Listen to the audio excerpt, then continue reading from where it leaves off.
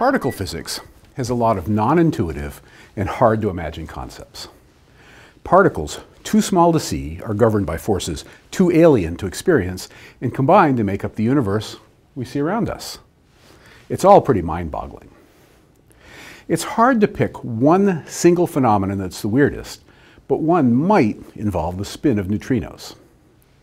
So spin in the quantum world is a complicated thing. Rather than telling you all of the nuances, I'm going to tell you the core points. If you want to know the whole story, then you've got a whole lot of studying ahead of you.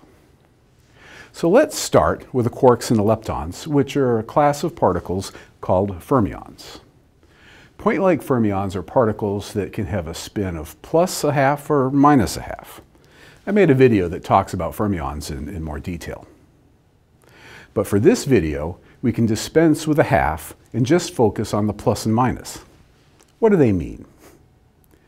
Subatomic particles aren't little spinning balls, but that mental image can be useful in some instances. Luckily, this is one of those times. So if you imagine, say, an electron as a spinning ball, the axis of rotation is parallel or anti-parallel to the electron's direction of motion. If you take your two hands and point your thumb in the direction the electron is moving, the electron has two ways in which it can spin. It can spin in the direction that the fingers of your right hand wrap, or it can spin in the direction your left hand wraps. If the sense of the spin is like your right hand, the electron has a positive spin. And if the sense of the spin is like the fingers of your left hand, then the electron has negative spin. It turns out that both the strong nuclear force and electromagnetism don't care one bit about whether a particle has a plus or minus spin, but that's not true for the weak force. The weak force only interacts with fermions with a negative spin, what we call left-handed particles, and with antimatter fermions with a positive spin, or what we call right-handed antiparticles. Never in any experiment have we seen a right-handed particle interact with a weak force. So since we can only study neutrinos with a weak force, we've only seen left-handed or negative spin neutrinos. Does that mean that there are no right-handed neutrinos? Well, strictly speaking, no. We could imagine that there are right-handed neutrinos that just don't feel the weak force. That is possible. We have a name for these hypothetical neutrinos that don't interact with a weak force. They are called sterile neutrinos. But you have to be careful with the nomenclature. In principle, any particle that doesn't interact with the strong electromagnetic or weak forces can be considered to be sterile. They could be right or left-handed. But since right-handed neutrinos fit the bill, they are examples of sterile neutrinos. Well, of course, if they exist. So it's important to remember that nobody knows if sterile neutrinos exist. There have been some measurements investigating how ordinary neutrinos can oscillate, which is a fancy way to say they change their identity, and in those experiments, the data leans towards the possibility of there being sterile neutrinos. On the other hand, other experiments lean the other way. The bottom line is that the jury is still out on the subject of sterile neutrinos. So there are experiments underway that will hopefully figure this all out. If you want to know my opinion on whether they exist or not, I don't really have one, except to say that most new ideas are wrong. But time will tell. There is an interesting idea that is part of the right-handed neutrino story. It may also be wrong, but it's worth knowing. It starts with the Higgs boson, which you've probably heard gives subatomic particles their mass. And that's true as far as we understand. Now, there appear to be a couple of different classes of particles.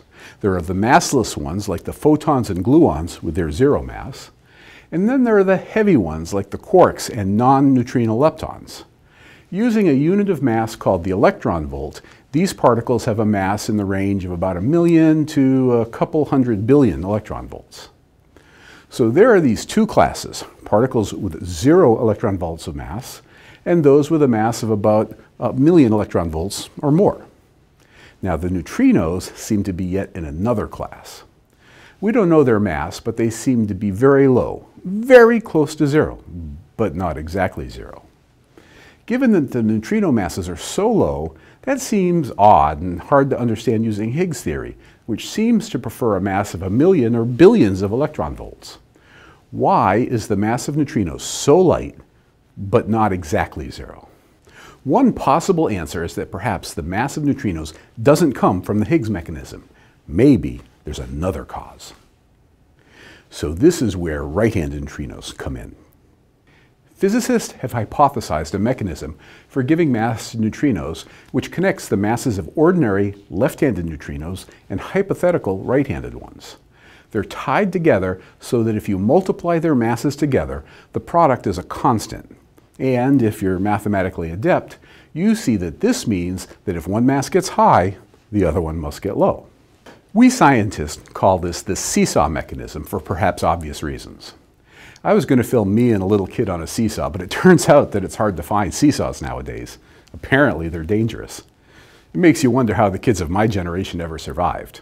But this graphic shows the key point. You shouldn't believe this seesaw idea because it's purely supposition at this point, but it's credible supposition and therefore you should keep it in mind.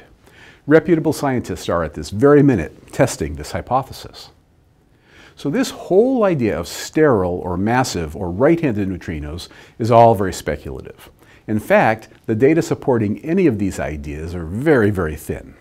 I mean, there are a few measurements here and there that one can explain by invoking sterile neutrinos, but there are often other experiments that rule out whatever idea the first experiment hypothesized.